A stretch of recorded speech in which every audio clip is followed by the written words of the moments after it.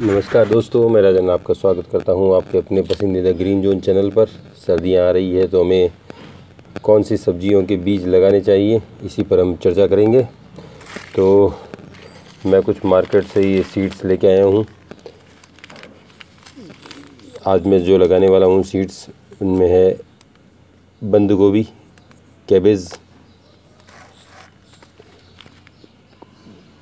फूल गोभी कॉलीफ्लावर मूली, यानी रेडिस, कैरेट, गाजर, मटर, यानी पीज़ और पालक। इनके अलावा भी आप कई ऐसी सब्ज़ियाँ हैं जो सर्दियों में लगा सकते हैं।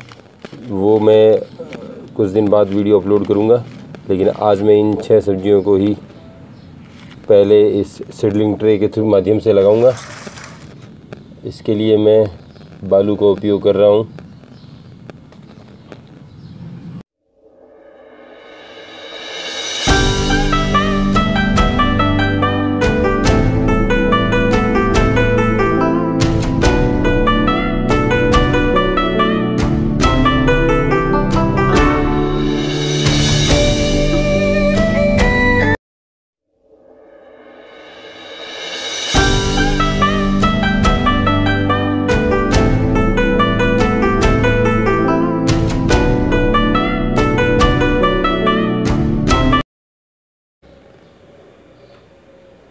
अब हमने इसको दे दिया है थोड़ा थोड़ा पानी।